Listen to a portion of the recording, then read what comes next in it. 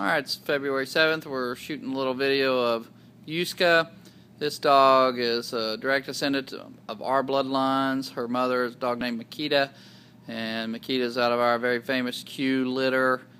Uh, goes right back to a dog named Gilchen von Riddenmeister that we imported from Europe. She's Hattie's mother as well, and that's a phenomenal dog. You'll see a lot of video on.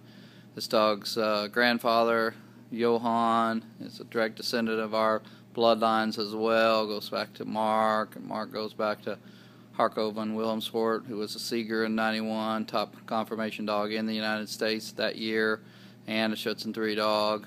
This dog's mother has a powerful, balanced drives. I helped, you know, I bred her, helped train, title her, and uh, this is a super nice young bitch. She's two years old. She's spayed hip x-rays and uh, her obedience is phenomenal and her protection work is very balanced with both prey and defense drive. She knows the helper's out here right now and she's continuing to stay focused on Richard.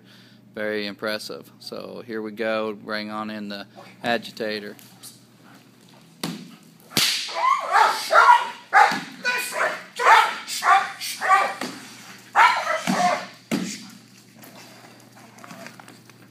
Very nice, calm, crushing grips. Outs cleanly. Very sound dog mentally. Got at home.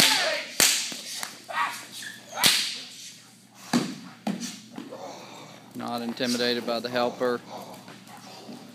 Once again, she has nice balance drives, good prey drive, calm, but also a very naturally defensive, protective edge to her.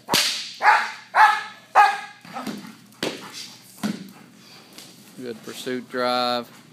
Not afraid to chase, grab. That's a good demonstration of her abilities. All right, a little bit about Yuska.